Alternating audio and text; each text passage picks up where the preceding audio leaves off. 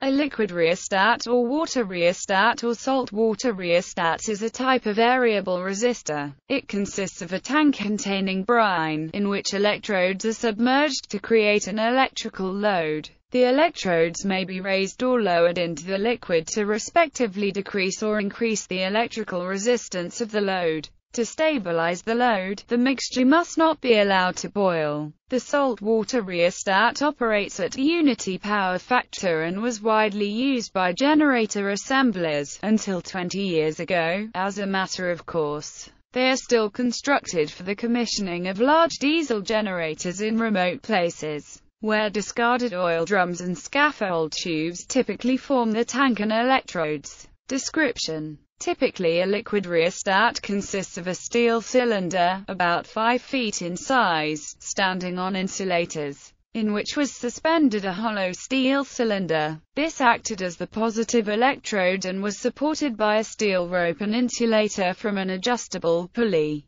The water pipe connection included an insulated section. The tank contained salt water, but not at the concentration that could be described as brine. The whole device was fenced off for safety. Operation was very simple, as adding more salt, more water, or varying the height of the center electrode would vary the load. The load proved to be quite stable, varying only slightly as the water heated up. It never came to the boil. Power dissipation was about 1 megawatt, at a potential of about 700 volts and current of about 1500 amperes. Advantages and disadvantages an advantage is silent operation, with none of the fan noise of current resistive grid designs. Disadvantages include corrosion to the copper connection cables and to the wire rope, lack of insulation from ground which may trip the ground detection system. Uses Railways commonly used salt water load banks in the 1950s to test the output power of diesel-electric locomotives.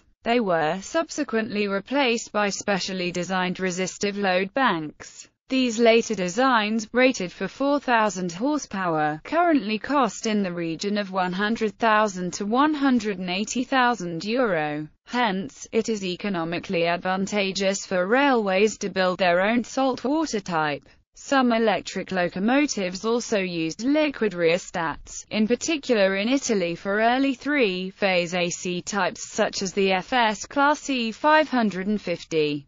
Some direct current designs also use them as starting resistors. Liquid rheostats were sometimes used in large wound rotor motor drives, to control the rotor circuit resistance and so the speed of the motor. Electrode position could be adjusted with a small electrically operated winch or a pneumatic cylinder. A cooling pump and heat exchanger were provided to allow slip energy to be dissipated into process water or other water system. Safety issues the salt water load bank dates from an earlier, less regulated and litigious era. To pass current safety legislation would require very careful operation. They are no more dangerous than electrode heaters, which work on the same principle, but with plain water, or electrical immersion heaters provided the correct precautions are used. This requires connecting the container to both ground and neutral and breaking all poles with a linked overcurrent circuit breaker. If in the open, safety barriers are required.